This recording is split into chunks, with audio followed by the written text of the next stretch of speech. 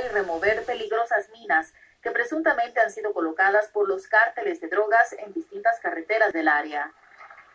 El equipo especializado del ejército mexicano ha encontrado decenas de los explosivos desde que comenzó el operativo, utilizando detectores de metales y herramientas para desactivar o detonar las minas antipersona. En las últimas semanas se han reportado daños a un vehículo del ejército y varios soldados han resultado heridos debido a los explosivos. Pero la semana pasada se confirmó la primera muerte de un civil cuando un anciano que conducía su camioneta pasó por encima de una mina. Ahora vean estas imágenes desde China, donde